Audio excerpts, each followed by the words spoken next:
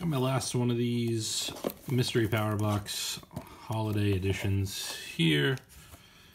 And gonna open it. Don't really want to save it.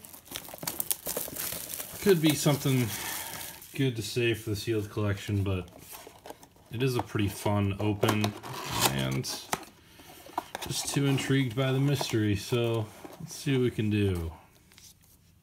Surprise, surprise, sun and moon. I wonder if we got darkness ablaze. We do. And we get probably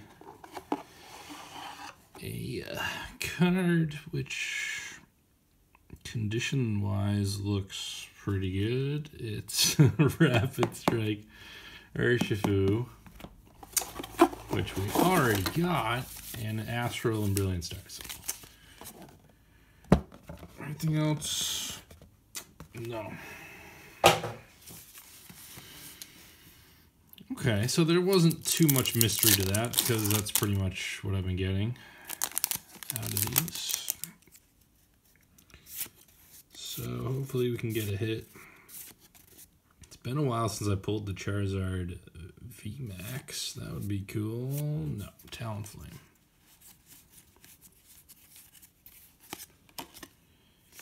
Green code.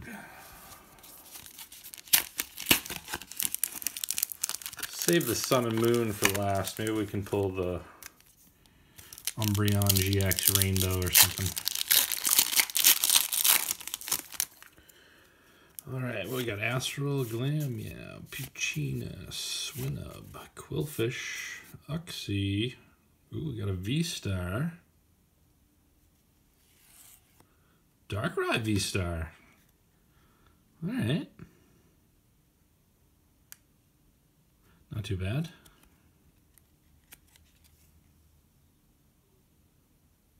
Not the perfect centering, but still a pretty good hit. And this Uxie always confuses me because it's an uncommon, but it just seems like it should be a rare. Alright, Brilliant Stars. Let's go Honchkrow Alt Art. Just do it. Karrablast, Buizel, Hawlucha, Throh, Magmar, Acerola's Premonition, and Muk. Muk! Alright. Sun and Moon pack.